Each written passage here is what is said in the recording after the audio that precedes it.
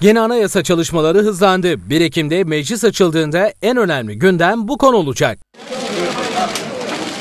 İktidar Partisi AKP, CHP ile MHP'ye mektup yazarak randevu istedi.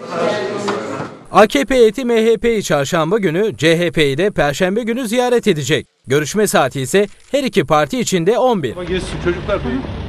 CHP'nin şartı anayasa değişikliği çalışmalarının meclis başkanının inisiyatifinde yapılması. Onlar görüşlerini aktarmak üzere geliyorlar. Biz de dinleyeceğiz. Zaten anayasa değişiklikleriyle ilgili çalışmayı, eşgüdümü yapan e, Türkiye Büyük Millet Meclisi'nin değerli başkanı. E, Sayın Başkan parlamento açıldıktan sonra bu konuda e, gerekli girişimleri sürdürecektir. Her partiden e, yine arzu ettiği oranda milletvekili talebinde bulunacaktır. Bizler de e, o çerçevede kendisine katkı vereceğiz. Bu konu Meclis Başkanı Cemil Çiçek'e soruldu. Evet, herkesin fikrine saygı duyarız.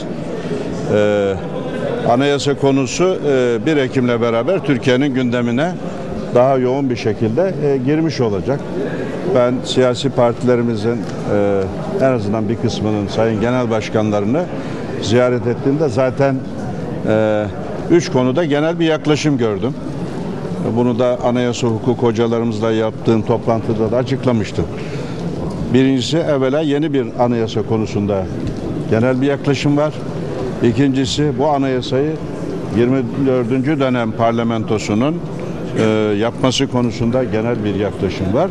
Üçüncüsü de bunun meclis başkanının başkanlığında e, uzlaşma komisyonu e, yoluyla bu anayasa sürecinin başlaması konusunda. Bunda bir e, ihtilaf yok.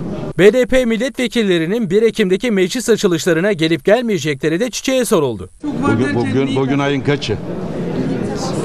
1, 1 Ekim değil ki. Evet.